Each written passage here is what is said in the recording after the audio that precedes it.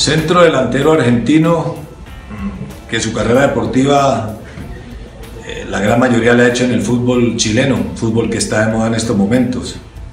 Goleador con el O'Higgins en el año 2012, hizo en su tiempo 35 goles y de ahí eso le da para ser vendido a la Universidad de Chile, donde tiene una serie de inconvenientes y de lesiones y poco puede tener continuidad. Su temporada en la Universidad de Chile hizo 14 goles.